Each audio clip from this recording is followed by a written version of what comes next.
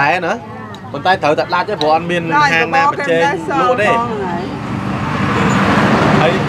ចំណូលប្រចាំថ្ងៃអាចជំរាបខាងពួកខ្ញុំបានទេបងស្រីគាត់ថាមិនចំណូលមួយថ្ងៃបានប្រហែលដែរពីការលក់បបររបស់បងស្រីណាអូរៀបការផ្លកផ្លកទិញទួយ20000ដែរហ្នឹង20000នេះនឹងចំណេញមួយថ្ងៃណាចាបាទប៉ុនផ្គត់ផ្គង់ជីវភាពគ្រួសារណាបាទលក់ជារាល់រៀងរាល់ថ្ងៃបងស្រីបាទ លោកលោកស្រីប្រិយមិត្តទីមេត្រីបាទក្រុមការងារទេសនាចរយើងខ្ញុំបាននឹងកំពុងតែស្ថិតនៅក្នុងភូមិខ្សាច់គោយក្នុងទឹកដីខេត្តបាត់ដំបងជាប់មាត់ស្ទឹងសង្កែឃើញអឺកូនផ្សារដ៏ទូចមួយដែលមានឈ្មោះថាកូនផ្សារក្រមួនបាទនេះជាការដាក់ឈ្មោះរបស់អ្នកភូមិដោយសារតែផ្សារនេះវាអឺថ្ងៃបន្តិចអត់មានអ្នកលក់ទេដោយសារតែពួកគាត់លក់អឺរបស់របរបន្តិចបន្តួចបាទមានបន្លែបង្ការគ្រប់ មុខបាទមានត្រីសាច់បាទមួយចំនួនហើយអាមួយទៀតនោះក៏សង្កេតឃើញបងស្រីអឺកំពុងតែលក់បបរគ្រឿងនិងគុយទាវឆាបាទគឺថាល្បីប្រចាំភូមិខ្សាច់ពុយនេះហើយបាទសម្រាប់បងស្រីបាទអឺលឺសូអឺបងប្អូនដែលជាអតិថិជនរបស់គាត់នោះសរសើរបណ្ដាច់ពីមាត់ទេថាលេខ1ហើយប្រចាំភូមិសម្រាប់បបរគ្រឿងនិងគុយទាវឆារបស់បងស្រីបាទ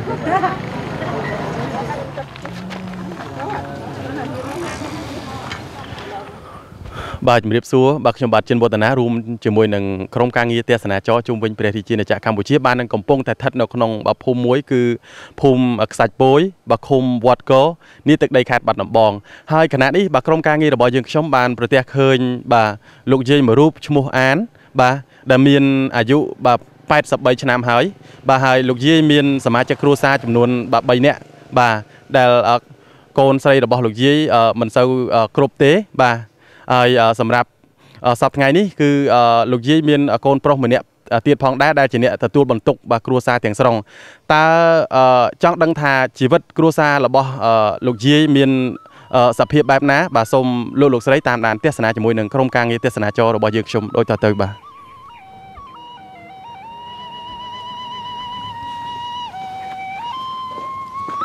មិនស្អីទេកូនក្មេងចេះដាក់មកហ្នឹង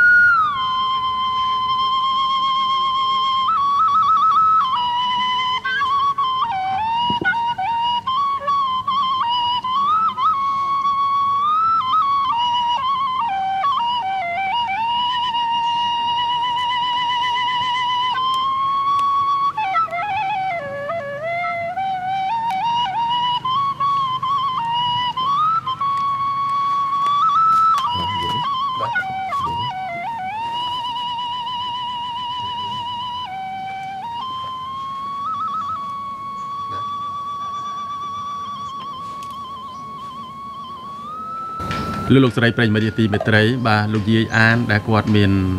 អឺអាយុ83ឆ្នាំហើយនោះគឺ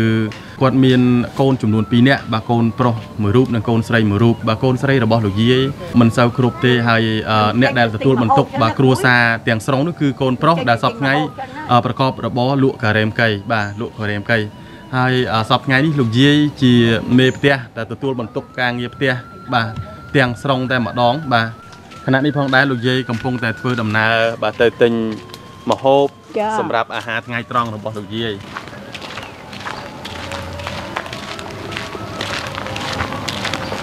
បើតាមការសង្កេតពីក្រុមការងាររបស់យើងខ្ញុំលោកយាយ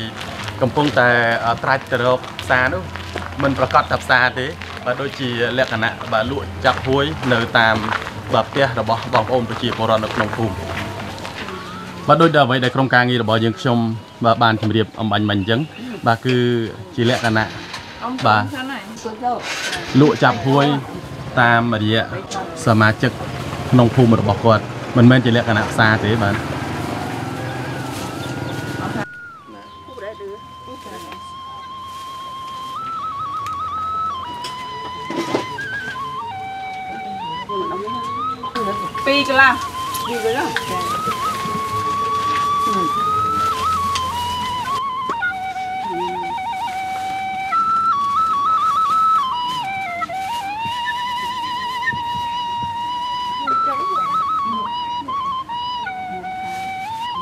Ê, nhớ nhập ba អរេស្រួយមករះ Rồi cô ơi nè ណានេះព្រឹងហើយចា5005 Cầm quan lắm ចា Ôi, bầu đấy អមឯងទិញច្រើនអស់ច្រើន Nơ មានថៃមកយកមី នេះថងឯណាដងធំ Anh nhìn biết bao anh tôi អមឯងយកស្បៃអី Vừa bữa ấy ឥឡូវនេះលោកយាយបានបញ្ចប់ការទិញម្ហូបអាហារសម្រាប់អឺអាហារថ្ងៃត្រង់របស់គាត់បាទរួចរាល់អស់ហើយគាត់កំពុងតែធ្វើដំណើរបើឆ្ពោះទៅផ្ទះរបស់អឺគាត់វិញបាទលោកយាយត្បិតតែលោកយាយមានអាយុបាទច្រើនប៉ុន្តែលោកយាយមើលទៅសភាពដូចជា នៅបាទមាំទាំល្អណាស់បាទ បាទលោកយាយបានទិញសាច់ជ្រូកបាទស្ពៃស្លឹកខ្ទឹមមិនដឹងថាអឺអាហារថ្ងៃត្រង់នេះលោកយាយបាទអឺនឹងស្លនៅមហូបអ្វីនោះទេបាទបន្តិចទៀតបាទនឹងបានឃើញលោកយាយបាទ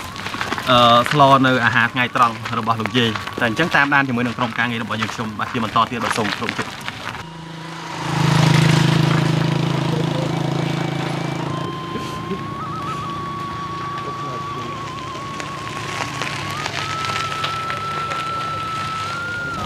ខណៈនេះបាទលោកយាយបានបាទធ្វើដំណើរត្រឡប់ពីការទិញម្ហូបរបស់គាត់បាទគឺដល់ផ្ទះរបស់គាត់វិញហើយបាទអញ្ចឹងសូមគោរពអញ្ជើញតាមដានពីបន្តទៀតទៅលើសកម្មភាព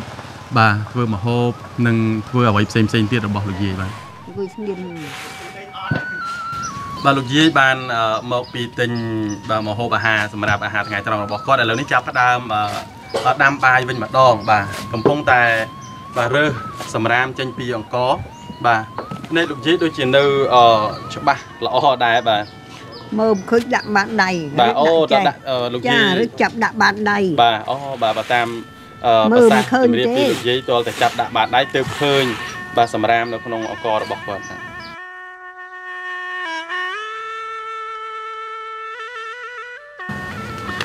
បាទសម្រាប់បងស្រីដែលកូន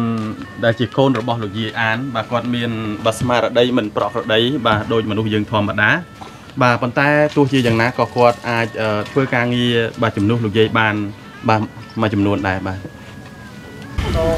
បាទខណៈនេះលោកយាយកំពុងតែអឺរុះរាន់ចំអិនអាហារថ្ងៃត្រង់ហើយអ្វីដែលលោកយាយអឺកំពុងតែធ្វើបន្ទាន់នឹងស្រោតរុះរះធ្វើនោះគឺដើម្បីឲ្យទាន់នឹង អឺលោកបិណ្ឌបាតដែលបន្តិចទៀតលោកនឹងនិមន្តមកដល់បាទផ្ទះរបស់លោកយាយបាទ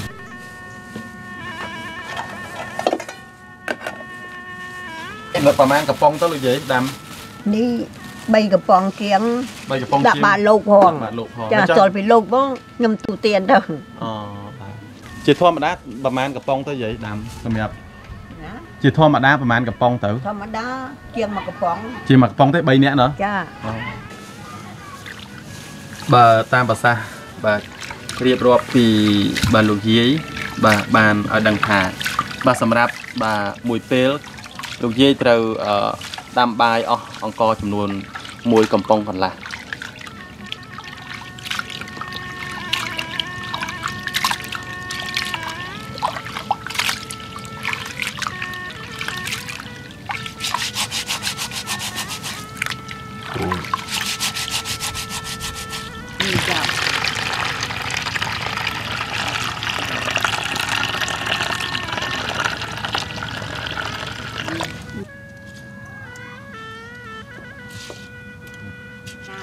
Hộp trái một đầy hộp đồng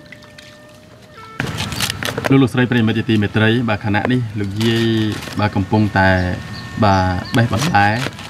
ដើម្បីបាទស្លឲ្យតន់បាទចង្ហាន់លោក បាទមានស្ពៃប្រហែលជាលោកយាយបាទស្លនៅមុខម្ហូបមួយយ៉ាង បាទឈ្មោះថាបាទស្ងោរស្ពៃបាទបងស្រីដែលជាកូនរបស់លោកយាយកំពុងតែបង្កាត់ភ្លើងដាំបាយបាទបើតាមប្រសាសន៍បាទ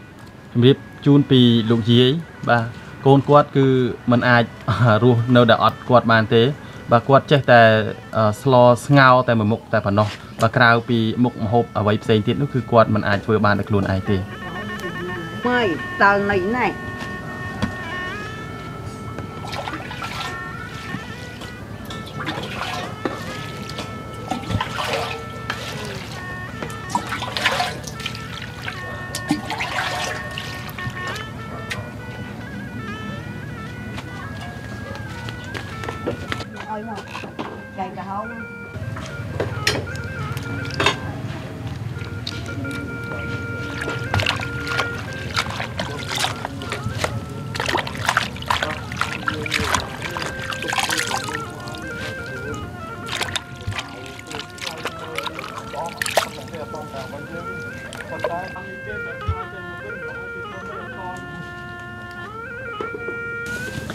បើចង្ក្រានបាទ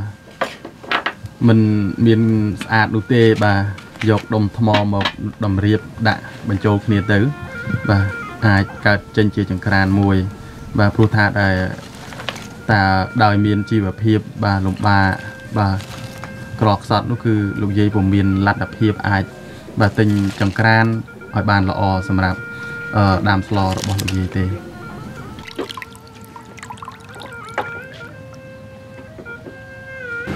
បើតាមពិតទៅលោកយាយបើភ្នែករបស់លោកយាយមើលមិនច្បាស់ទាល់តែសោះប៉ុន្តែដោយ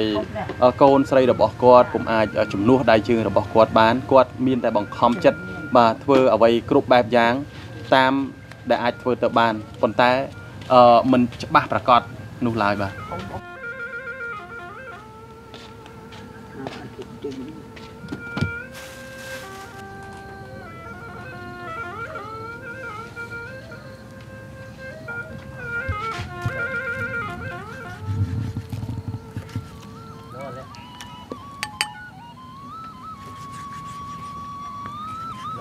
បាទគណៈនេះលោកយាយកំពុងតែបាហាន់បាសាច់ជ្រូកបាទបាទហើយកូនរបស់លោកយាយនោះកំពុងតែបាទដាំបាយហើយมันអាចដើរចេញពីចង្ក្រានបាយបានទេត្រូវអង្គុយមើលដល់ឆ្នាំងបាយបាទជាមួយគ្នានេះមិនដឹងថា